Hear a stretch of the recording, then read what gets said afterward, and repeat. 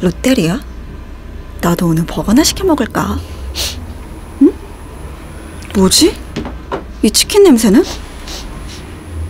저 혹시 롯데리아에서 치킨도 배달해요? 네, 통닭이요.